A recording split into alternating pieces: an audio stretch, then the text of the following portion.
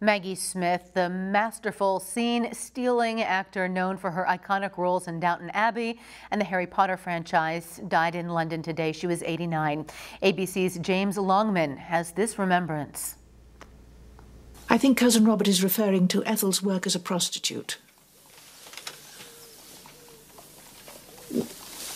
Well, of course, these days servants are very hard to find. With her caustic wit and that irascible smile, Dame Maggie Smith stole the show and our hearts as the formidable Dowager Countess of Grantham in Downton Abbey.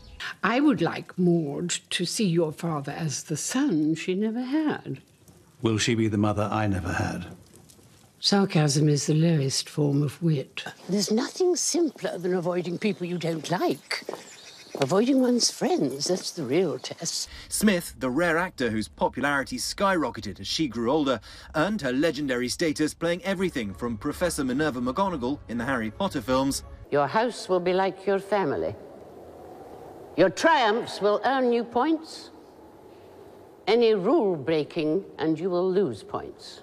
To more demanding roles in films like A Room with a View, Tea with Mussolini, The Best Exotic Marigold Hotel, and Sister Act.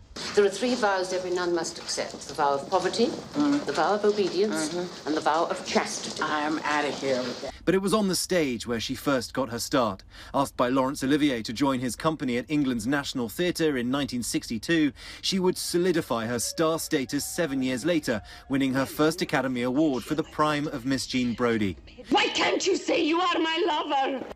She'd win another for California Suite in 1979. In 1990, she was knighted by Queen Elizabeth as a dame, a moment she would later laugh about in the 2018 documentary Nothing Like a Dame. You phoned me when it happened to me, and you said it doesn't make any difference, you can still swear. Dame Maggie Smith was 89.